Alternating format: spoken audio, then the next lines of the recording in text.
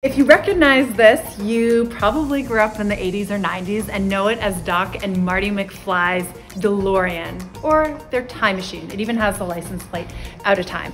It served as part of the inspiration for what is behind me, which is an actual model of a flying car from company Alef, which hopes to start producing these by 2025. On the outside, it kind of looks like a normal car. It's got wheels, but then you get a little closer and look in here through this mesh.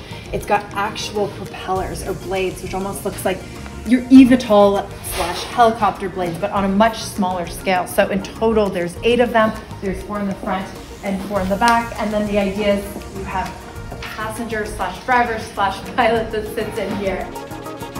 This model made its first auto show appearance in Detroit last September, and the folks here at Alef say that it drew more of a crowd than the Lamborghini beside it, and even the Ferrari. Everyone just wanted to see the flying car of the future.